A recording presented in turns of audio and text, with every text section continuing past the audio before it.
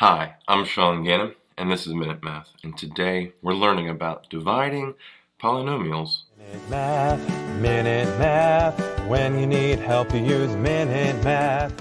We're given this problem right here, m squared minus 7m minus 11 divided by m minus 8, and we need to divide this. Well, let's do some synthetic division. So we set up our synthetic division right here okay? And we're looking at the coefficients of the first part. 1 in front of the m squared, negative 7 in front of the m, and then negative 11 right there.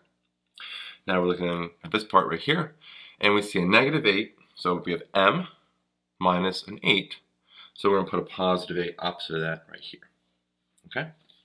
All right, let's follow our steps for synthetic division.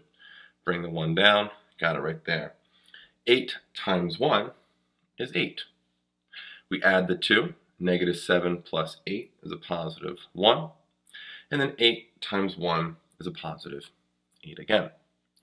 Negative 8, oh, sorry, negative 11 plus 8 is a negative 3. And this is going to be our remainder. So where do these, how do we translate that to an answer here? Well, we're dividing m squared by an m, and so this is going to be actually the coefficient. m squared divided by m is just an m.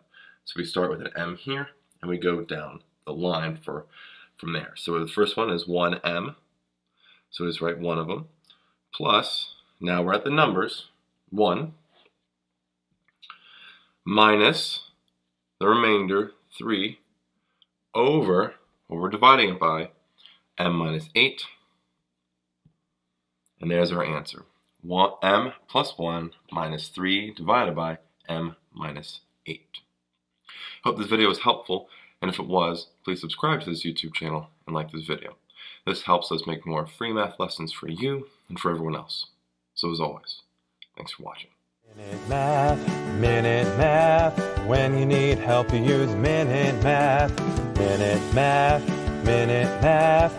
When you need help, you use Minute Math. MinuteMathTutor.com.